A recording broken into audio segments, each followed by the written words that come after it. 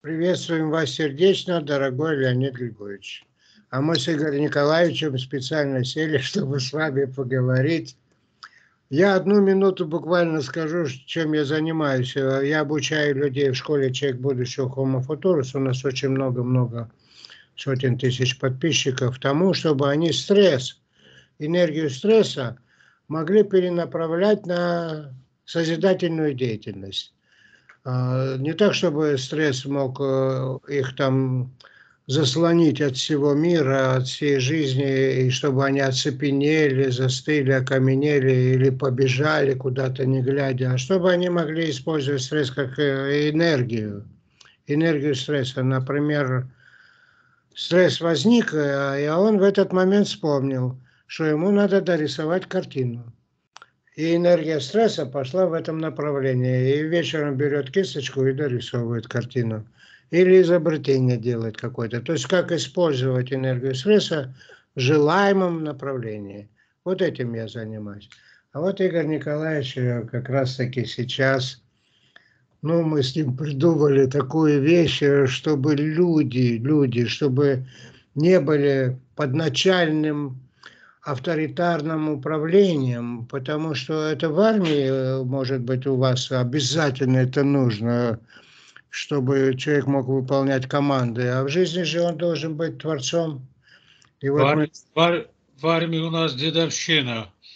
Да, но это современно. Это в идеализированной, конечно, армии без начальства быть не может. А в обычной жизни, когда каждый человек творец, безусловно, необходимо, чтобы человек был свободен. А вот ну, как, как было Спасибо. Я представлюсь зрителям коротко. Ну, отставной военный, военный профессионал, но много лет я уже занимаюсь наукой, наукой. И где-то уже 30, более 30 лет, по сути дела, этой наукой будет является геополитика. Да. И докторская моя была первая в Российской Федерации «Эволюция геополитического развития России». И более 20 лет я возглавлял Академию геополитических проблем. И почти 20 лет я преподавал геополитику МГИМО ну и затем в лингвистическом университете города Москвы. Вот, так что, а подчеркну, почему я вот влажу в разные сферы, в том числе э, в медицинские даже, вот, потому что а, главной категорией геополитики является география, является пространство во всем его многообразии. Вот. А Игорь Николаевич, да, много лет является вице-президентом Академии. И мы да, расширяем пространство, вот, не только как географическое, но пространство сознания. Мы давно уже говорили о том, что должен состояться переход от трехмерной модели пространства к многомерной. Вот. И поскольку человек является тоже живой сущностью, живым пространством, вот, очень весьма сложным пространством, мы занимаемся в том числе и человеком, его сущностным пространством. Вот я коротко представил. представил. Ну, все знают и так. так что я хочу сказать вам, же книга, я вчера взялся ее, начал читать о перевернутом мире. Очень интересная книга. Я ну, вот у нас будет смотреть, всем рекомендую пос, посмотреть там. А что за книга? У меня 20, вот 20 уже лежит монография.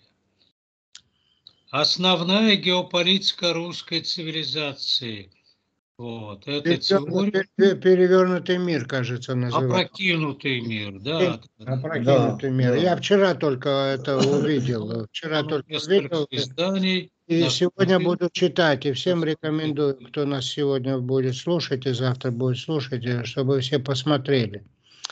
Утраченный так что... мир рекомендую. Да, да, да. Вот Там по... много ссылок на Игоря Николаевича, у которого я много учился, многому. И поэтому вот э, мы и выступаем, потому что развивать нужно интеллект, интеллект. И второе мы вчера вот с вами обговорили, Сократа познать самого себя. Вот, вот и это я, важно. Например, в школе даже такого предмета нету «познай себя». Хотя все об этом говорят. Надо начинать... Главное сейчас, да. Путина потом будем, наверное, тоже изучать как классика. Вот. А скажите, пожалуйста, как вы считаете, готовность человека потенциальная есть к тому, чтобы жить без э, стереотипов, страхов, шаблонов мышления, подражанием авторитетам, чтобы он мог мыслить свободно. Вот я уверен, что каждый из нас э, подсознательно пытается мыслить свободно. Вот когда он, например, находится в состоянии такой глубокой душевной безмятежности, когда мысли протекают у него как облака в голове, ничего внутри не задевая. Вот он там находится в этом состоянии как бы нирваны, в этом состоянии внутренней свободы.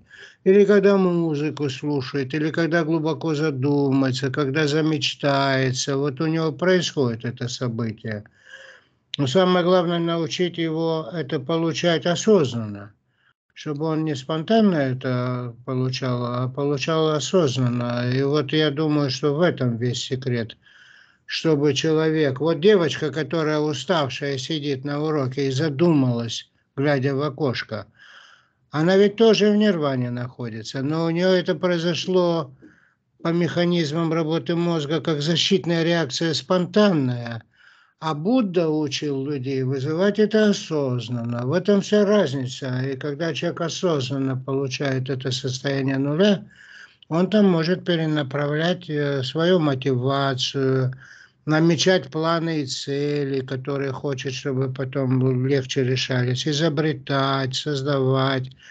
А вот как вы к этому относитесь? Э, готов сегодня человек принять эти идеи или ему надо тысячи лет еще для развития?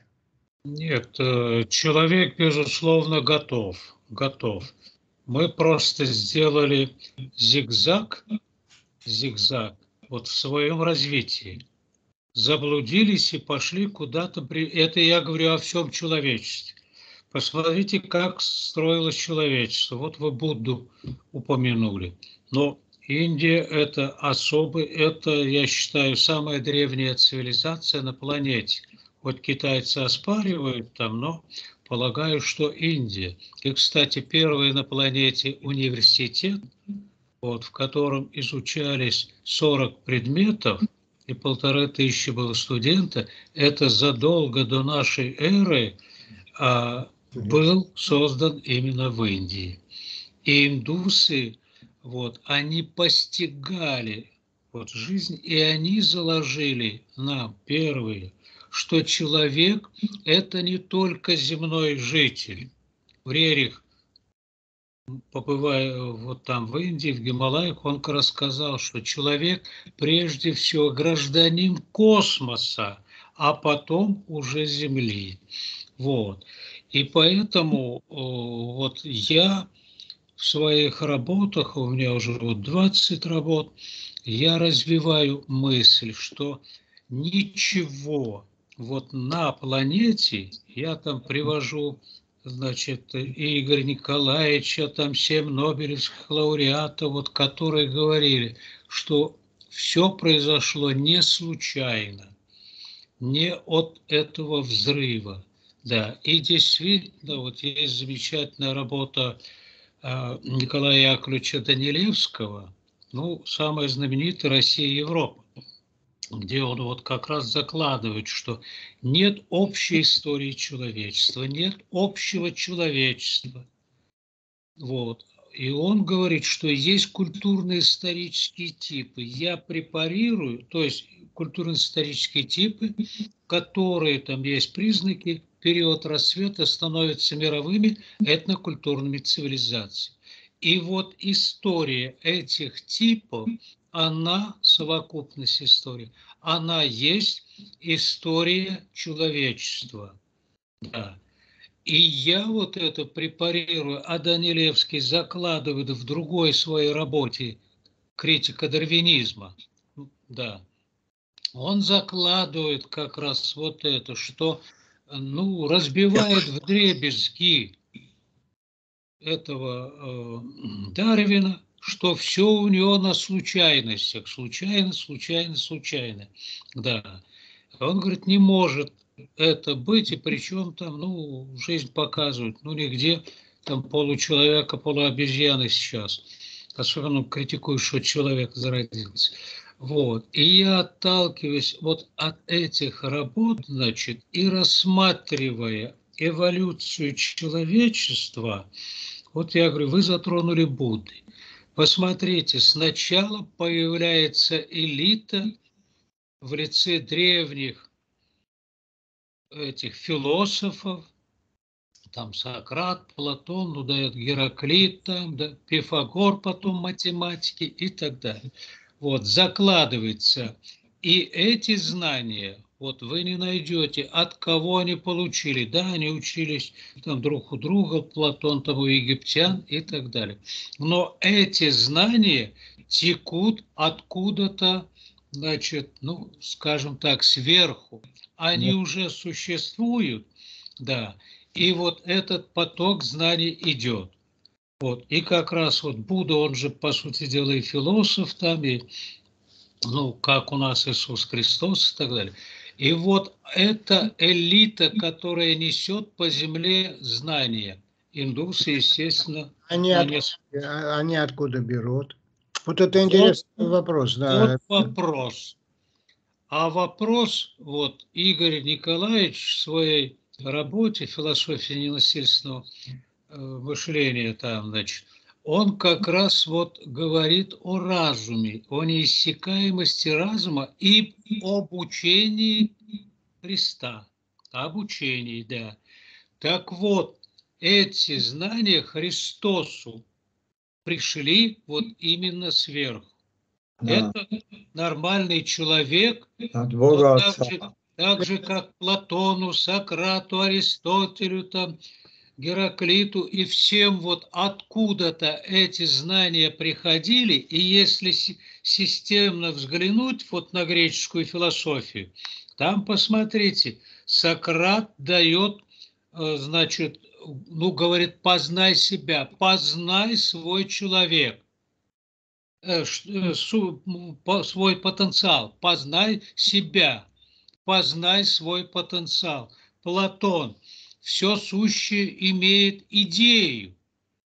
И дальше какая? Благая идея, идея, а Игорь Николаевич сразу вспоминает, благая весть там у Иисуса Христа. Да, да, да. да, да. да. Затем, посмотрите, появляется, я с иудаизма не буду касаться его там, Бог там какой-то, у нас зримый все, Будда, Будда это зримый человек – который сидел вот на этих потоках знаний, которые направлялись искусственно. Греческие философы – это живые, люди, которым тоже шло. Затем появляется Иисус Христос.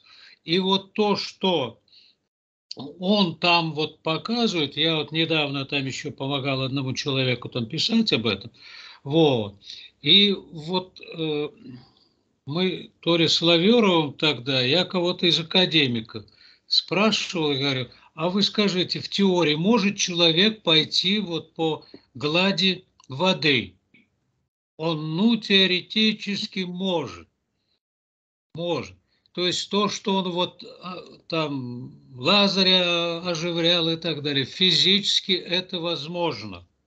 Вот. Возможно, это потенциал человека, если он напрямую там с космосом связан и так далее.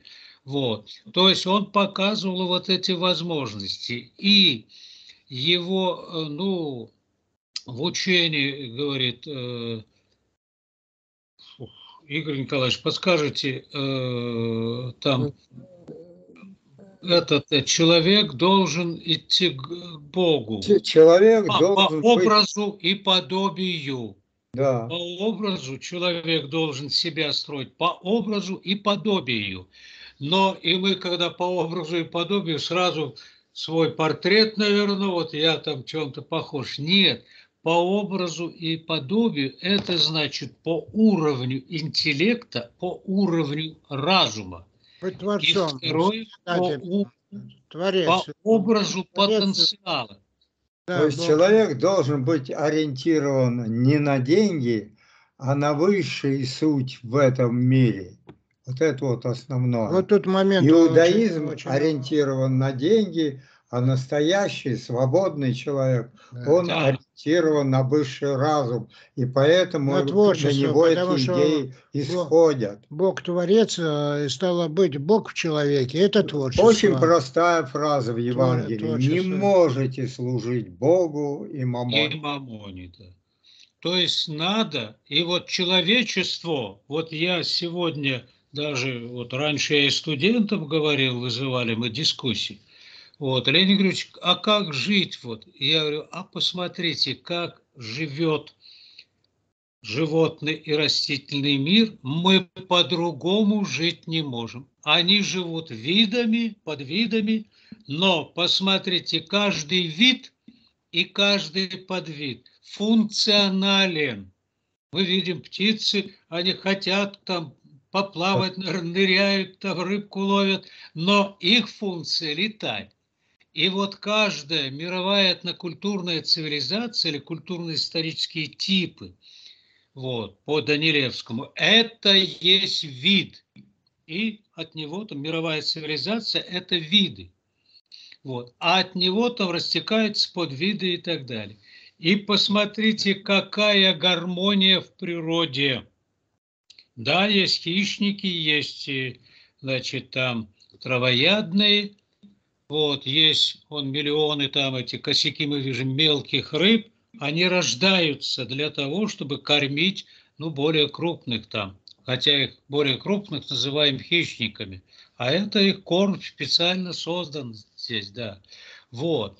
И поэтому мы должны не вот воевать в природе нет этого, что вот один вид уничтожает другой. Ну, мы видим прайды львов, они да, поймали антилопу самую слабенькую, и здесь Дарвин прав, наверное, идет вот эта эволюция, Потому, отбор. На том уровне, да. Симбиоз, и вот это вот э, пожирание одного другого, там мошек пожирают, там крокодилы и прочее. Да, да, ну это, вот даже вот эта машкара, да. вот, машкара, Э, вот, наблюдать вот нужно, они все равно какую-то пользу приносят или являются просто кормом, да. да. Вот и нам нужно, вот, что я пытаюсь вот в своих работах определить функционал.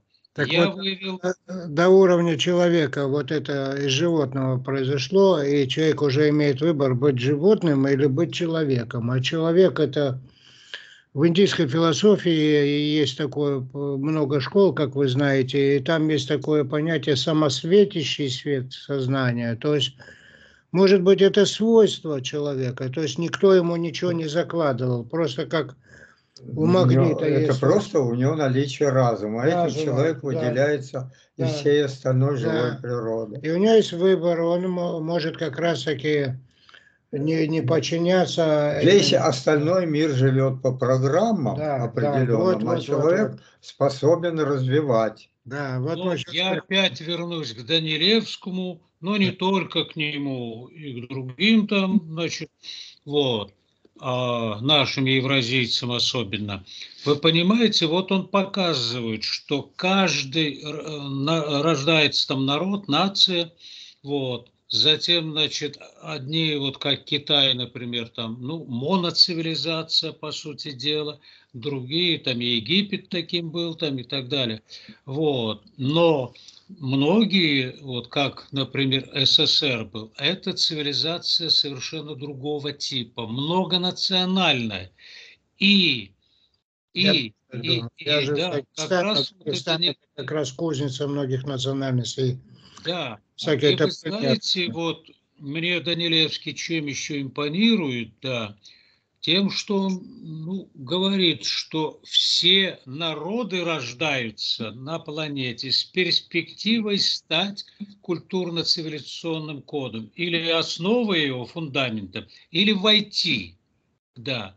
Но не всем это удается. Некоторые, вот мы говорили о рыбах, там, которые, и машкара, которые шат, некоторые народы Э, проживает, чтобы быть этнографическим материалом для других. И он там Финляндию приводит, да. Вот самостоятельное, но подпитывает. Да, но все народы проходят испытания. Испытания. И испытателями являются вот те огромные империи гунов, татаро-монгол, османов он туда вводит, и называет их бичи божьи, испытывают другие народы на выживаемость. Вот. И дальше вот он приводит, что, ну, приводит 10 культурно-исторических типов, 10 мировых цивилизаций, которые вот отработали и ушли. Ну, Китай и Индия там остаются, да. Но каждый вот посмотрим, что дали египтяне нам. Да, мы до сих пор не можем понять ни предназначения пирамид там, ни каких-то других там астрономических этих рисунки эти разгадываем, там космические рисунки, которые там, ну, даже если верить этому, пять с половиной тысяч лет, хотя говорят, что египтяне гораздо раньше. Вот, то есть они вып... одни цивилизации, ну, опять же к природе смотрим, вот, выполнили свою функцию и ушли. Но они и вавилоняне принесли, там и египтяне принесли, индусы очень многое принесли, приносят китайцы и так далее. И вот Данилевский говорит, что есть там ну, однотипные, там многотипные, да. И вот посмотрите, некоторые там ушли вот из десяти культурно-исторических типов, значит, вот остались только два. Вот. Это Китай и Индия. Выполнив одну, одну задачу, вот, ну, Игорь Николаевич лучше знает, а мне это Дмитрий Федорович Устинов говорил, что нельзя, вот они создали там ракету или самолет, да, а я как раз Ростислав Полочич Беляков докладывал им, а я сидел там, значит, помечал, да, этот МИГа, руководитель МИГа. И вот он показывает МиГ-29, все запускать уже там в производстве, ну, на испытании производства. Дмитрий Федорович задает ему Устинов, тогда министр обороны. Говорит, Ростислав, скажи, ты заначил, много заначил? А я сижу, мне надо кратко конспектировать для истории, ну, совершенно секретной тетради. Он говорит, Дмитрий Федорович, говорит, вот честное слово, самую малость, самую малость. А у нас заначил, значит, ну, сейчас понятно, бы нас сразу поняли. А тогда я не могу понять, заначил карман и так далее. Он говорит, ну, давай, Дмитрий Федорович, да если я скажу, вы отберете. Отберете у меня. И вот представьте меня, молодой офицер там, да, вот, понять. И я, да, и он, значит, говорит, Дмитрий Федорович, ну вот я вам честно скажу, вот три момента. Там, значит, разбег самолета, значит, набор высоты, говорит, немножко. Вот, потом, значит, что-то еще там с нагрузкой немножко, значит. И третий, Дмитрий Федорович, нет, нет, нет, давай скороподъемность, Ростислав, забираю у тебя и все. И я сижу, ничего вот из этого разговора понять не могу. Потом уже, да, на отдыхе находились, я, Дмитрий Федорович, я говорю, ну вот в этом Ростислав Полосович. А он мне говорит, Лень, ты понимаешь, ты же видишь, что распоряжение ЦК и Совмина задается новая модель вооружений там, да системы. Ну, более простые просто э, распоряжением правительства. Вот, а здесь постановление ЦК и Совмина. И говорит, ты же видишь, сроки ограничены. Вот. И люди, мы же с тобой, говорит, бываем, вот ты ездишь, ты видишь, люди, говорит, выкладываются. И интеллект весь. Ты думаешь, говорит, вот он сидел на, ну, там, в своем КБ и так далее, а потом приходит, да он ночами, говорит, не спит, он все думает, мозг работает, да. И, говорит, люди, э, значит, да, вот есть ТТЗ. Они в ходе работы, Игорь Николаевич, лучше нас с вами знает, выходят на новые параметры. Можно там скорость увеличить, можно все. Но, во-первых, это будет затяжка по времени. Потому что увеличиваешь один параметр, надо согласовывать со всей системой самолета там и так далее. Вот. И, говорит, люди, ты же видишь, говорит, только принимаем на вооружение, и завтра же задаем уже постановлением правительства модернизацию, М1, модернизацию. И говорит, а людям нужно просто отдохнуть, говорит, там где-то побыть семьями. И у них уже, говорит, маленькая задачка, как правило, стараются на М1, говорит, сохранить вот какие-то наработки э, по, пред, по первой модели. Вот. И вот действительно вот таким образом, что человеческий мозг, человеческий э, вот этот разум, вот, это у Лаверова, по-моему, были, я задавал вопрос. Я говорю, скажите, а мы знания делаем? Вот, производим знания, работая, значит, над собой, там, над диссертацией, или же мы ищем и получаем их. И вот от этого ответа, э, ну, по-моему, Лавер, вот Николай Павлович, он говорит, да, я сам об этом думаю. Ну, а дальше почитайте того же Эйнштейна, там, ну, вот я привожу в своих работах, там, семь этих э, нобелевских лауреатов, там, и по химии, и по физике, и так далее. И они все говорят, о том, что вот без высшего разума мы ничего бы не могли сделать здесь на планете.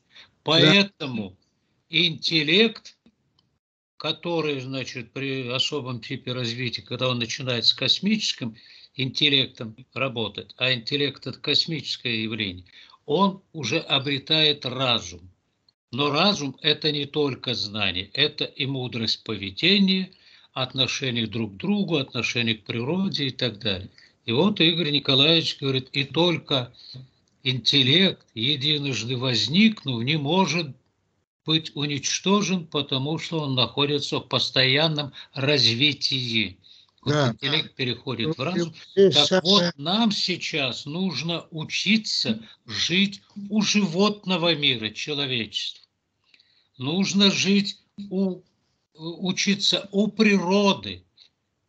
Посмотрите, в согласии, да. В согласии, жить в согласии, гармонично жить в согласии, да. Энергетически общаться, чтобы не конкурировать между собой, не враждовать, не воевать, а вместе создавать. Да, и вы понимаете, вот еще я затрону, потом помолчу, послушаю с удовольствием. Вы знаете, вот это теория того, что в результате хаоса планета, ну, теория энтропии, да, там нагревается все, обязательно, значит, мы там когда-то погибнем. И Путин, несколько, пару раз я от него слышал, что да, но это будет 5-6 миллиардов лет. Так вот, у нас в 1893 году один молодой физик Сергей Алексеевич Подолинский не согласился с этим энтропийным подходом. И он вывел, что да, есть энергия, ну, злая, что ли, там, энергия, там, э, свой, связана с войнами, разрушениями, негативная вот эта энергия есть. Но есть и свободная энергия, позитивная. И он как раз показывает, посмотрите в природе, никто не инвестирует там ни рубля, только зарабатывает, но она цветет, выдает, значит, и картины вот из цветов, и вообще чудеса вот этой красоты, и дышит кислородом э, растительный мир там, и горы дышат, и так далее. И вот Подолинский как раз говорил, а потом Попис Георгиевич Кузнецов пытался развивать это, что вот соотношение злой, темной энергии вот это и соотношение вот этой красоты, добра, музыки, песен, оно должно быть в пользу вот позитивной. У нас же человечество сегодня, вот, Паладин, и мы, Россия, не на последнем месте, это, где-то даже в лидерах, чтобы гадость кому-то сделать. Ну, он, посмотрите сегодня. А вот зато Европу, замерзнет Европа. Зато там этим покажем там и так далее. Вот нужно менять сначала в сознании вот это отвергать все негативное, злое, то есть читать нужно учение Христа. Десять заповедей. Вот я говорю, сначала вот эта элита мировая, которая понесла здание, там греческие философы, там индийские философы и так далее. Затем для масс появляется Иисус Христос, после него там Аллах, пророк Мухаммед, вот, пророки они, они вот оттуда получают, несут. Вот. Это уже приземление как бы, а как вот массы должны себя вести, каждый человек. Вот это христианство, затем магометанство, вот, пошло уже для бытовых. Но вот у меня вопрос. Вот сегодня мы с вами говорим сейчас, что бы мудрого не сказала, ну, посмотрят там несколько тысяч человек. А тогда не было ни телефонов, там, ни самолетов, ничего. Как по всему миру шла вот эта волна христианства. Вот как узнавали люди. посмотрите, сколько мы слышали на нашем веку. То там на Украине какая-то богиня, то кто-то себя Богом там объявлял, и по сей день это идет. Никто уже телевизоры есть, все, никто не идет. А тогда по всему миру вот христианство, а затем ислам, как распространялись? Вопрос. Вот. Значит, божественные силы Конечно. вмешиваются. Большее время было гораздо, но тем не менее распространялось, потому что это была истина. Да, но Вопрос. и какие и репрессии, а посмотрите, что творила эта католическая, католическая вот эта инквизиция. Да, это уже на страх, там, ведьм, там, Жордана Бруно. Посмотрите, что творилось. Все равно вот выжило все это. Выжило. Потому что люди стремились, вот Игорь Николаевич правильно, к истине. И сегодня вот подходит такое время, что будут выключать телевизор – вот. Да, а слушать... Смотреть, а будут обращаться действительно к Богу. Да, да, да. Тут вопрос, э, Эйнштейн, когда его спрашивали, почему вы как-то говорите, что верите в Бога, а в другой раз говорите, что не верите в Бога. Он имел в виду, он говорит, я зависимость от того, с кем разговариваю. Потому что я имею в виду, что Бог не личность. О, Потому что некоторые люди, они просто думают, что это нечто такой большой-большой человек, который да, сидит где-то там, там в небе плавает. В небе плавает, и по его воле решаются как А на самом деле это суть, которая объемлет весь мир. Да, вот это самая большая тонкость. Это структура, это которая... не структура, это суть. Суть, да, суть. То есть, э, если это... вы сказали структура, значит уже геометрия. Да, да, да, вот э, теперь вы правы. Вот скажите, пожалуйста, суть, что такое суть? Вот там в Индии они говорят, атман есть брахман. В математике это называется фундаментальная аксиома. Да, вот она как? Из она... которой следует все. Да, ну она где? Она где? В атомах? Она в... Нет, нет, она в иррациональном. Там метрики нет. Вот, вот, вот вы это расскажите. Это очень интересно, потому что есть люди, которые буквально вещи понимают, есть люди, которые понимают философские. А, а есть точное понятие математическое. Так. Вот, например, а, Э, человек, в отличие от животного, животное, вы сказали, я очень согласен, запрограммировано инстинктами, и ведет себя в каком-то коридоре действий, и поэтому появляется человек, потому что человек никогда не помрет э, ни, ни при каких, э, как мамонты выживет. Человек не помрет, разум не погибнет. Разум не погибнет. Мамонты вымерли, когда ледниковый период пошел, потому что они жили Сейчас понимаете, в чем программе. дело? Максимум, что Земля выдерживает 9 миллиардов человек. Так. И основная задача предстоящего периода – это фо поиск форм дальнейших существования разума. Как да. это будет, мы пока не знаем. Вот все мысли сегодня должны быть направлены туда. Если 9 миллиардов человек или даже больше будут сотрудничать, а не убивать друг друга, они же выживут, они же изобретут что-то такое. Нет, если вы посчитаете, это все в математике посчитано. Да сколько нужно времени, чтобы биомасса людей да. при этом способе размножения превысила массу Земли. Это совсем немного времени оказывается. А этого, в принципе, быть не может. То есть вечными люди быть не могут, иначе планета... Разум вечен, а в каких он формах а, будет, да, да, это да. он определит сам. Да. И мы именно сейчас должны заниматься этими вопросами. То есть разум вечен, ну, библиотеки, например, книги, например, произведения. Это одни из форм, которые были раньше. Да. А какие будут дальше, мы пока не знаем. А, вот, вот, теперь мы будем искать, как сохранить разум на планете. И он должен быть активным. Да. Не Сейчас... на планете, а, а Вселенной, в мире, в мире во всем. Это Значит, очень интересно. В отношении вот Бога, Бога. Да я в опрокинутом мире даю там мое понимание сущности Бога. Вот. И я исхожу именно из энергии. Вот наши слова, наши мысли. Вот, кстати, есть хорошая книга, это наша академия там э, Кефеля вот продвинули.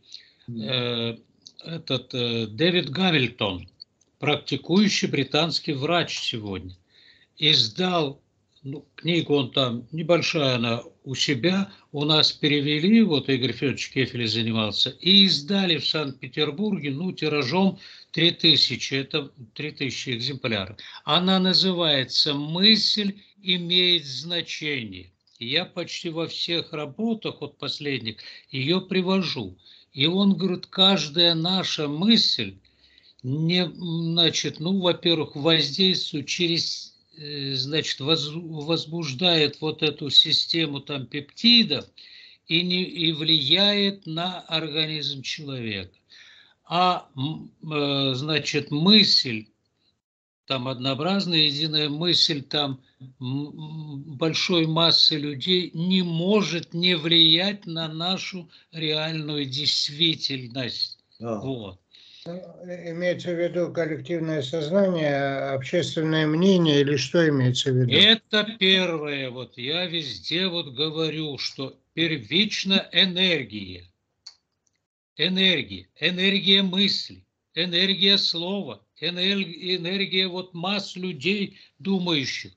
И вот там как раз, вот у этого Гамильтона, как раз посмотреть, что каждая мысль, значит, она вот энергетично. Даже он говорит материально. Я развиваю вот это. И мы в Академии там обсуждали, развивали. И вы а... знаете, я, значит, знаю, вот э, был такой Махариши, философ индийский, это в наши времена, ну, постарше да, да, нас тогда, вот, у него, значит, ну, потом Сатья Баба, вот, да. А к нам приезжали сюда летающие йоги и пригласили, прочитали нам там, значит, я еще на службе был, и потом пригласили в Голландию всех представителей стран СНГ, в штабе СНГ. Вот, мы полетели в Голландию, и они там демонстрировали летающие йоги. Вот спортивный зал, значит, ну, сидят...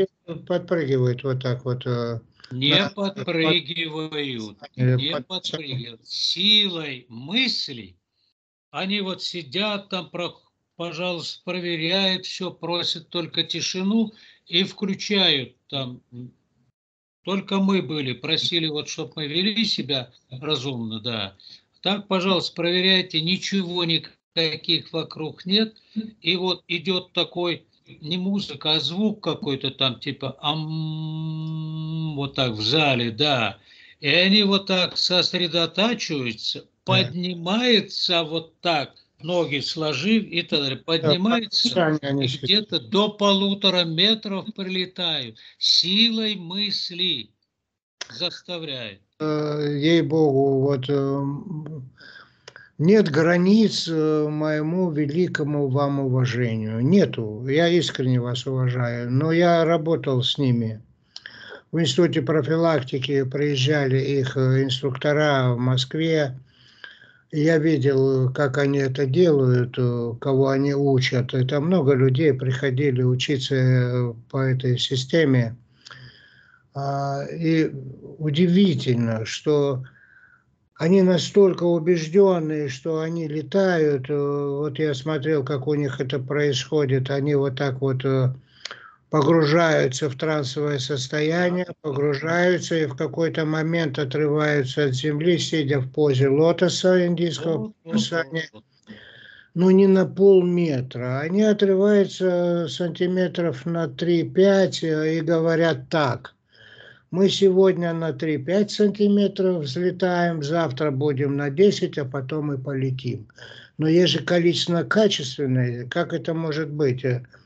Он показывает 3-5 сантиметров, которые человек может спонтанно делать. И так, вот, например, если я погружаюсь в состояние транса, внушаю себе, что руки у меня расходятся на автомате, они пошли автомате, на автомате, идя рефлекторно. И если я сижу в подмасане, представляю, что взлетаю, то мои мышцы то же самое, по этому же принципу, идеорефлекторно включаются. Одно дело на 5 сантиметров, а другое дело полети. Это же две разные реальности. Это вот люди, когда смотрят на это завороженно. И самое главное здесь, что в этом направлении идет поиск. Поиск. да, на... да. Вот это самое главное. Да. А и вот... Когда-нибудь на кого-нибудь искра Божия упадет, и он сделает первый шаг. То есть речь идет о том, чтобы создать для этого условия. Конечно, вот да. это самое главное. Да, да, да, да. Но я еще вот этот же философ Махариши под эгидой даже ООН там э, значит, пытались, воевали вот сомалийцы там с эритрейцами, эфиопами и так далее. И они проводили и наши, вот почему я знаю, наши тоже советские там эксперты участвовали в этом.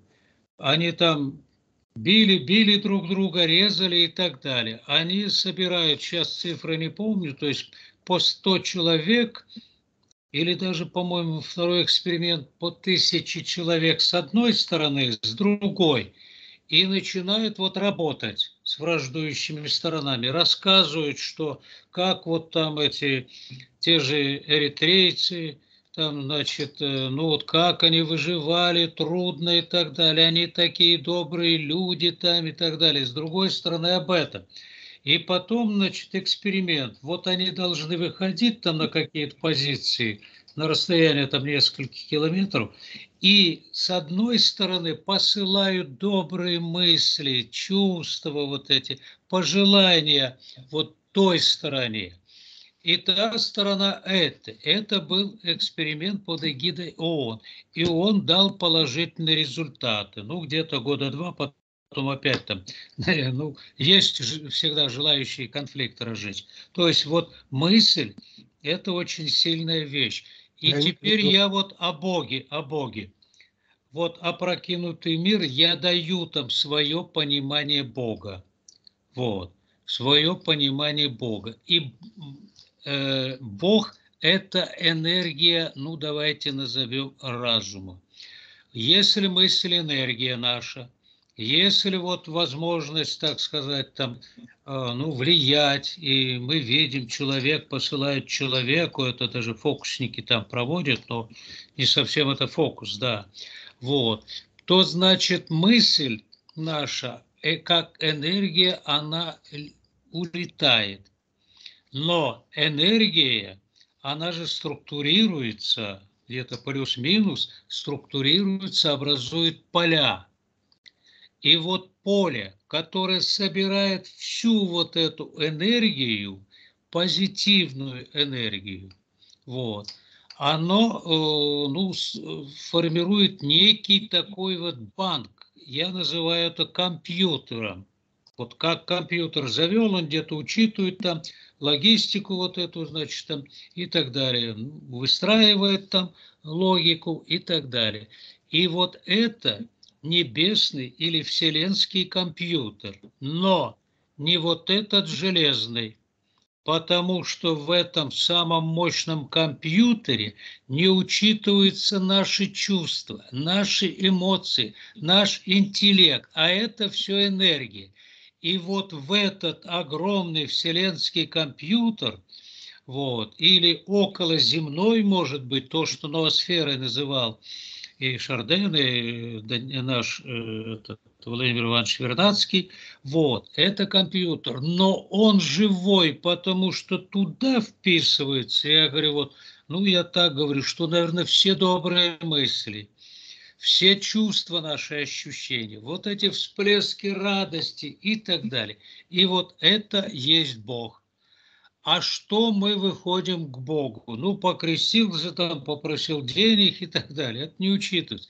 А вот посмотреть на наши церкви, да даже на мечети, вот, ведь они сделаны таким образом, что батюшка вот ведет как бы, и все начинают мыслить и устремлять эти мысли туда, в космос, в этот компьютер. Да плюс еще плазма свечи, она как бы вот и э, концентрирует вот эти все мысли в энергетический луч и ускоряет, усиливает его. И вот мы идем, обращаясь к Богу. И вот надо проводить на себе эксперименты. Я могу сказать как. И по здоровью, и по значит, э, там, чтобы ограждать себя от всяких этих негодяев, помыслов там плохих и так далее. Все это реальность, но в основе энергия, в том числе энергия витонов, которые мы не научились еще измерять или нам сознательно не дают, вот, закрывает. Потому что как только что изобретем, первое, что надо делать оружие, чтобы убивало там не одним выстрелом очередь, затем, значит, оружие, чтобы сразу там мощно, затем только открыли сущность ядра атомного, что первое? Бомбу делай. И да. сейчас все так же идет. Да, идет да. Вот Поэтому не все нам дают. И вот здесь энергия, вот эта разрушительная энергия, вот это так, злая, теневая и так далее, она сегодня превосходит. И превосходит прежде на уровне мысли, на уровне сознания.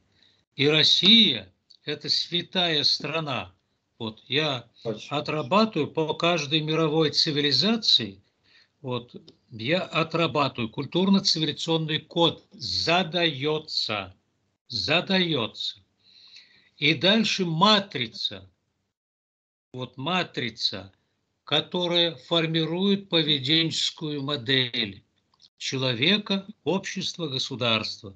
И в нашей истории, вот у меня вот этот 800-страничный труд, там, ну и последующая Россия или Москве, я как раз вот сам исследую вот это, вот, убеждаю в чем-то, что-то опровергаю. Так вот, у России культурно-цивилизационным кодом, Данилевский говорил, он не писал вот об этом, а есть, говорит, высший значит, высший нравственный код как высший нравственный смысл, дающий основание поведенческой модели или системе ценностей. Так вот, у нас совесть. Совесть. Я Дальше идет совесть, совесть, святость, справедливость, честь. Вот она наша модель. Наш ислам. Я с Путиным там встречался, даже летели там вместе, я ему как раз говорил, что мы там в Индии. Я говорю, Владимир Владимирович, вы знаете, куда мы летим? Да, вы мне говорили стратегический союз. Я говорю, нет, я не говорил это. Ну как, ну как? Я говорю, геополитический союзник 21 века. Не ВВП там, не все это, а по культурно-цивилизационному коду, вот, ну, по системе ценностей, она нам близка.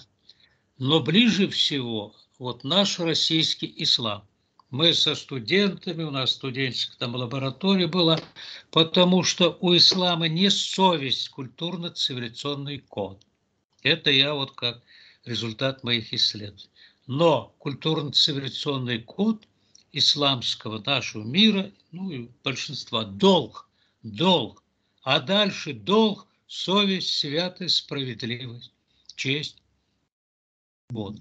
А не возразите мне. И поэтому вот долг, совесть, они, значит, ну как бы сопрягаются. Запад, или там морская цивилизация, мы говорили, у них нету этого. Совесть вообще они, англичане даже перевести не могут нигде. Вот. У них вот, это морская цивилизация, континенты, там горы и так далее, живут своим трудом и зарождались. И поэтому труд, поэтому нет такого желания захватить там земли и так далее. Морские цивилизации живут добычей. То, что не сеял, то, что не пахал, идет, ну, ловит и так далее. Да. Это как, вот. и, как пираты, да? Да, у них Европу подчинили сейчас Европу, так вот у них культурно-цивилизационным кодом, который приперся к нам, является выгода. И дальше выгода, экспансия, насильственность. Торговые цивилизации еще обман. Ну да, вот, там же говорят, если ты умный, где твои деньги? Ну что, я вот предлагаю, наверное, так. Сегодня уже много сказали. Да. Вопросы, наверное, поступят. Поступят вопросы. От слушателей вы выложите. Да. И давайте в зависимости от вопросов вернемся и к этому обсуждению. Вы сказали, Игорь Николаевич, очень важную мысль. Ага. Создать условия, чтобы у людей появились э, намерения. А вот мотивы. я как раз этим и занимаюсь. Да, да, создать условия. И вот сейчас вот э, обеспечить энергией всех. очень интересно раскрыл панорамно, сколько точек э, взаимопроникания может быть в умы людей, и что такое Бог, и что такое инстинкт, и что такое выбор. Ну, сегодня мы достаточно да, очень много, много, много. Леонид Григорьевич да, очень спасибо, подробно и да, понятно. Очень Посмотрим, как публика будет реагировать. Да. Посмотрим, сколько людей, я абсолютно уверен. Э, Вы в Москве да, предполагаете быть? Ну, когда возможность появится, да. Пока возможность такой. Пока нет. Вы в Крыму, да? Да. Ну... Если буду, обязательно загляну. Хорошо, хорошо. Мы да. как-то потом скорее скорреспондируемся и еще встречу провести. Да. Ну, вот нет, я сказал, что да. зададут вопросы, да, да, да, и в зависимости от этого да. мы в я... этом направлении будем да. двигаться. Спасибо. Я говорю, я единственный, сейчас я напоследок мысль, единственный, кто вот геополитику преподавал в ведущих э, вузах почти 20 лет там, да. Вот. И я студентам, вот студента, студенткам особенно, вот я говорю, а у кого есть там, ну, в общежитии большинство жили, вот в лингвистическом, особенно в МГИМО, также я говорю, у кого есть цветы, какие и так далее, расскажите мне про ваши вот цветы, дома ли и так далее. И вот девочки там говорят, да вот у нас там, значит, они в комнате втроем там жили, девочки, говорят, и у нас вот э, не цветут, вот должны, я говорю, они должны, да, расцветать. Я говорю, а вы приходите, поговорите с ними, просто ласково поговорить, включите им музыку. Они так смотрят на меня, через две недели прибегает, кричит, Ленин Григорьевич, зацвели цветы. Это вот сила мысли, энергия. Вот, поэтому вот начинать нужно вот, разговаривать с домашними животными, разговаривать с растительностью и, конечно, нести вот этот добрый подход, желание сделать доброе дело, Вот это основа, доброта, красоту. Да. Вот сопереживательность, э, сочувствие, созвучие. да, вот да, это да. главное, конечно. Да, вот это. И начиная с подъезда прямо, и идите с этим добром. Да. Да. С этим добром, да. Спасибо вам искренне. Спасибо, Леонид. Григорьевич, что нашли время. Да. Всего До доброго. встречи. Спасибо вам очень. Всего да. доброго. да. До связи.